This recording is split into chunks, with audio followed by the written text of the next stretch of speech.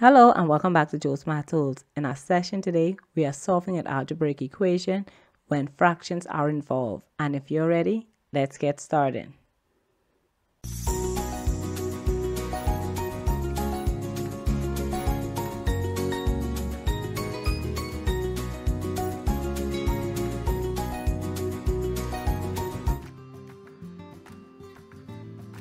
Today we're solving an algebraic equation involving fractions. Now whenever solving algebraic equations involving fractions, remember the first thing you need to do is the same thing we would do if we were working out regular fractions and they had unlike denominators. So our first step needs to be to find our LCD. And remember whenever finding your LCD, it's the same thing as finding the LCM. Remember that the D just means that we're working with numbers in the denominator, but overall we're still finding the lowest common multiple of the numbers in our denominator, which is 3, 2, and 4. And even though we know that 5 has a denominator of 1, oftentimes we don't really worry about the 1 because we know that whatever number we use, we will still have to be multiplying the 1 times that number. So the LCD of our numbers 3, 2, and 4 is going to be 12. So now that we have our LCD, that means that we now need to change our fraction into their equivalent form where every one of these terms has a denominator of 12. Now in multiplying or working out our equivalent form, I'm going to do that on the side for this question so that if this is your first time working out these type of questions, you'll be able to follow me and understand how I am actually changing my fractions to their respective equivalent form. So I'm going to start with the first part, which is my 2k plus 1 all over 3. And remember, I'm changing this to its equivalent form where 12 is the denominator. Now, when changing this fraction to its equivalent form where 12 is the denominator, I'm looking at my number 3 and looking for the number that when I multiply it to 3, it's going to equal to 12. And that number is going to be 4. So 4 times 3 is equal to 12. And remember, whenever changing to your equivalent form, that means whatever I multiply my denominator by, my numerator is also multiplied by the same number. So I'm going to be multiplying 4 times 2k, which will equal to 8k, and 4 times 1, which will equal to 4.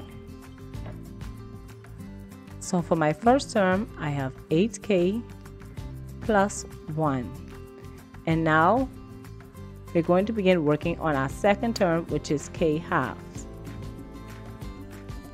And for my k halves, what I'm going to do for this step is also includes the, the minus sign or the negative sign that's in front of my k because whenever I'm doing my distribution, that negative or that minus sign is going to be distributed to everything that's in that term following it.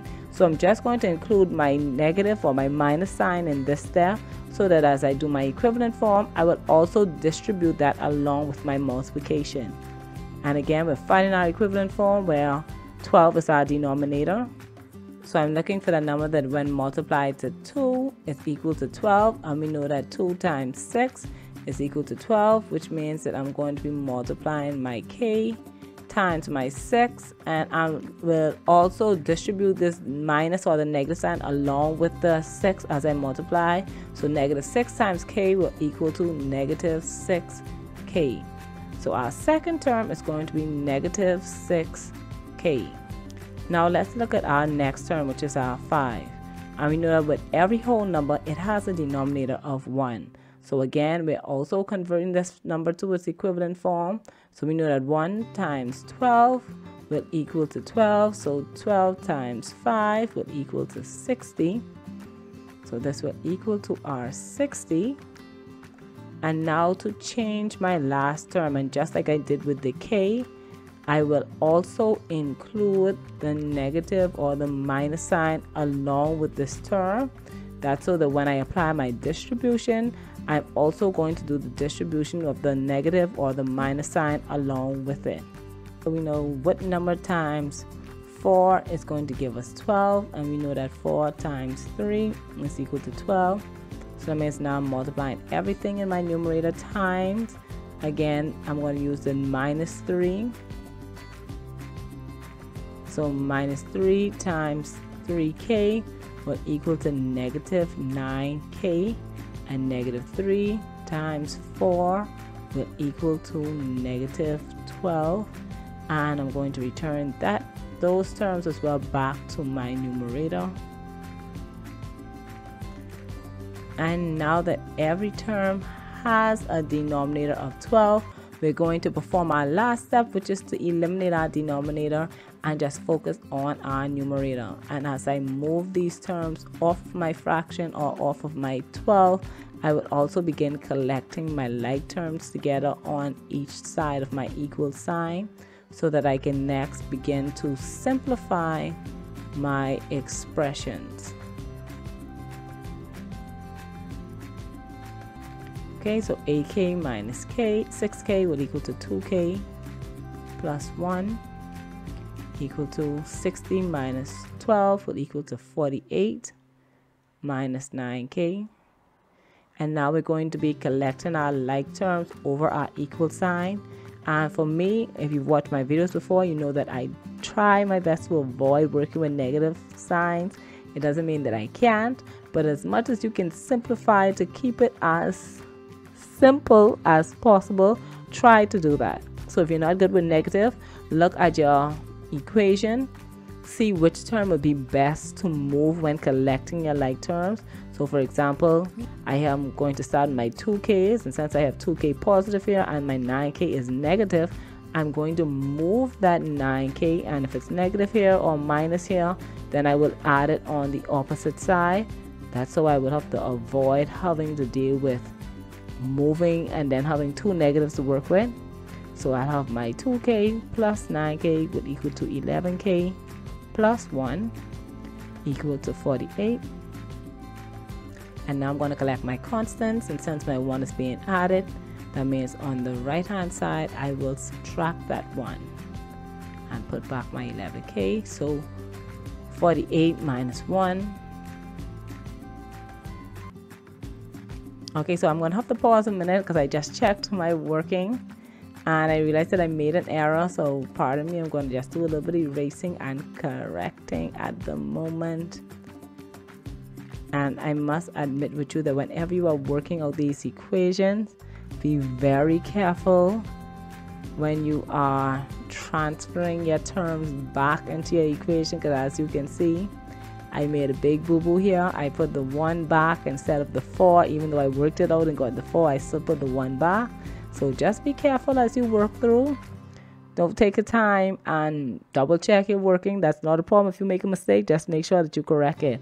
That's why for me, I find it so important that after you solve these equations to always go back and check your answers. And you notice that with my algebraic equations, I always perform a check afterwards because I realize that that step is very, very important whenever you are working out these type of equations.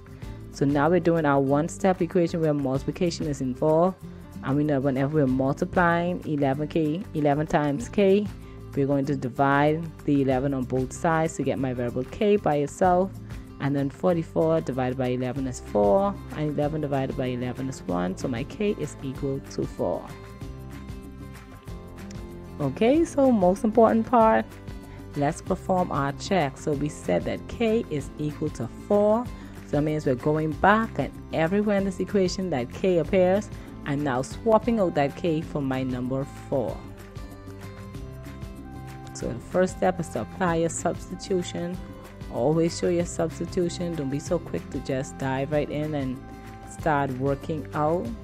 Do your substitution first simplify your questions or each of your terms individually as much as you can and then begin collecting your like terms or finding your LCD if need be. So 2 times 4 is 8 and 8 plus 1 will equal to 9 thirds.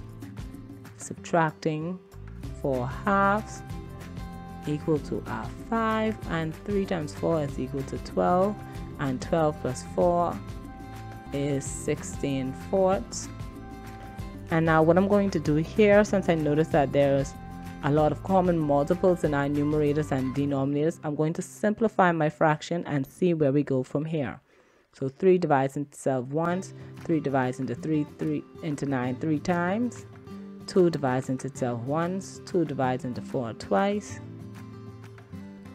Putting back our 5, and 4 will divide into itself once, 4 can divide into 16 4 times, which will equal to plus 4. Sorry again, another mistake. Seems like I'm racking them up a lot on this question. So this one was a sign error. So you notice that. Just be careful with these little mistakes as you work through. Trust me, I know. I, I worked out another question before, and when I got to the end and I was checking the answer, after the answer worked out incorrectly, I went back to check my working. And then in my working, I realized I made a very simple error. It was a sign error at the beginning of the question. And that completely threw my answer and everything else off. So please check your working, check your answers. If you make a mistake or you notice that you have an error somewhere, just go back, take your time, and double check everything. These mistakes do happen, it is common.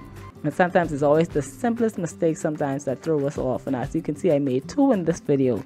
One was in calculating my LCD converting my equivalent fraction and then still didn't transfer my entire equivalent fraction over into our working and then in this one was a sign error so just be careful of those little things so if you work out your question and something is off or the answer is wrong just go back and check so now that we know that both sides of our equations are equal to the same thing that means that my answer k equals 4 is the correct answer for our equation okay so i hope this helped you out I hope this also keep you motivated and not get deterred by your little mistakes. Notice I made some myself, but we corrected them, continue working on our question, and still arrive at the correct answer. So remember that practice does make it perfect and you will get better with practice. So don't be discouraged. Just keep working and keep improving your skills. And until next time, this is Jewels Math Tools where math is made easy.